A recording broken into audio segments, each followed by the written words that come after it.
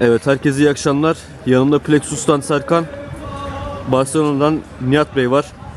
Maç 3-1 sonuçlandı. Plexus galip oldu. Maç hakkındaki yorumlar- yorumlarınız neler? Valla olması gereken pozisyonları değerlendiremedik.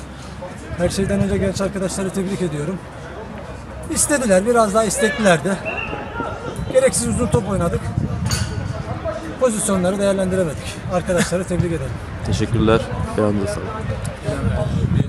bir çekişmeli bir maç oldu. Ee, bayağı bir bir beş beraber giden bir sonuç vardı. Sonlara doğru şans bizden taraf oldu. Arkadaşların da direklerinin birçok toplar var.